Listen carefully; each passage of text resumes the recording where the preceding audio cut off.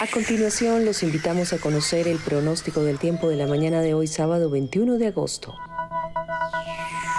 Empezamos nuestro viaje por el norte del país, que promete lluvias en el sur de Córdoba, Golfo de Urabá, norte de Atlántico y sectores de Magdalena. Continúa el tránsito de nubes en el archipiélago, por lo que no se descartan algunas lluvias ligeras en la isla de San Andrés.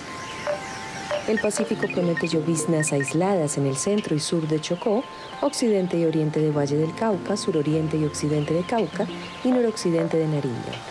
En amplios sectores de Cundinamarca y Boyacá, así como en el centro de Tolima, sur de Huila, oriente de Caldas y occidente y sur de Antioquia, se estiman lluvias de diversa intensidad.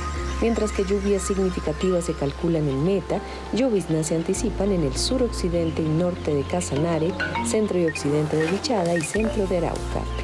La densa nubosidad prevista en la Amazonía podría activar lluvias en zonas de Guaviare, Caquetá, Putumayo, Guainía y el occidente de Baupés. Durante las primeras horas de la mañana, las lluvias se concentrarían en el oriente, norte y sur de la capital. Con el pasar de las horas, se prevé tiempo seco en la ciudad. Veamos ahora las alertas que se encuentran activas. Alerta roja en Achí, Bolívar, debido a la inundación causada por el desbordamiento del río Cauca.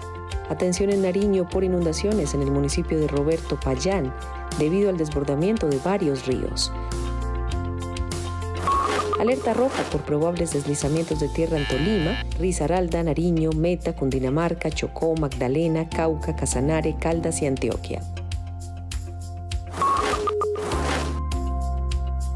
Alerta naranja por tiempo lluvioso en el centro y sur del Océano Pacífico y en el occidente del Mar Caribe.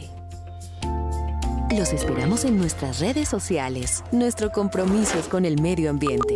IDEAM es confianza y prevención.